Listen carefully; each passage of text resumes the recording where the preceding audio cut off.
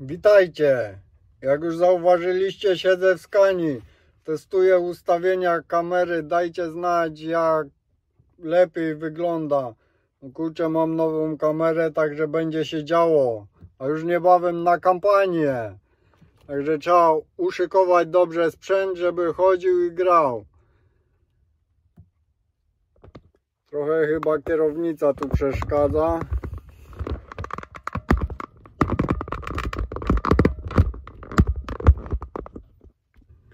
I jak co, to teraz ustawienia są na HD 30 klatek. Za chwilę zmienię ustawienia, zobaczymy, czy będzie lepszy obraz.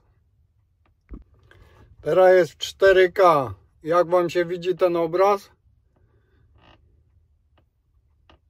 Piszcie oczywiście w komentarzu, które ustawienia najlepsze, bo jeszcze sam nie wiem, które ustawienia tutaj będą najlepsze.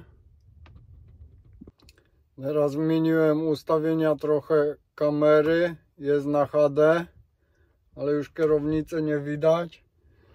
Kurczę, nie mogę przybliżyć. Nie wiem, może kurczę, a bo to przednim aparatem, to a przedni pewnie nie przybliża, bym musiał z tyłu zrobić. Chociaż poczekajcie chwilę. A tak, to tylko tylny powiększa aparat czy przybliża. Że będzie trzeba, kurczę. Będziecie drogę lepiej widzieli, jak będzie filmowana droga, także będzie się działo. Dajcie znać, która opcja lepsza, 4K czy w HD. Ale jak widać obraz chyba całkiem, całkiem, co? Głos też. Teraz telefon w ręku, no ale telefon w ręku to nie bardzo podczas jazdy.